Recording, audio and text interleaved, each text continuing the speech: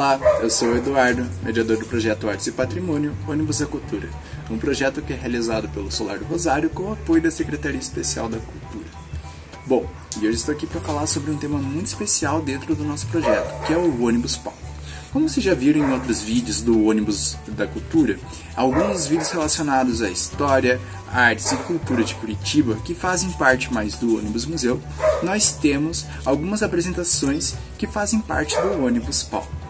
E o ônibus palco, como o nome já diz, acaba se transformando num palco bem legal e por, por ele passam várias atrações, como artistas circenses, contadores de história, músicos populares e clássicos e algumas peças teatrais bem legais. E como que são os eventos que o ônibus palco atende? Nós temos como a priori os eventos em comunidade, com ônibus palco, como por exemplo em regiões mais afastadas da cidade ou em até em parques de Curitiba. E temos também as apresentações de encerramento, depois que o ônibus museu atende todas as salas de uma escola, nós temos um encerramento bem legal com o ônibus palco, para mostrar um pouquinho mais de cultura e algumas apresentações bem bacanas para essas crianças.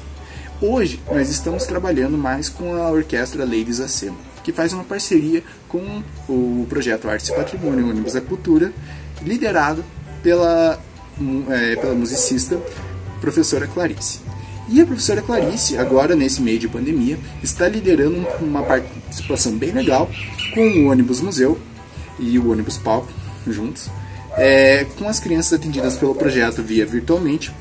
É, algumas ela fala um pouquinho mais sobre algumas histórias da música clássica e ao final disso faz uma apresentação bem legal com os seus musicistas que fazem parte da orquestra. Lembrando que a orquestra Ladies Assemble é formada somente por mulheres.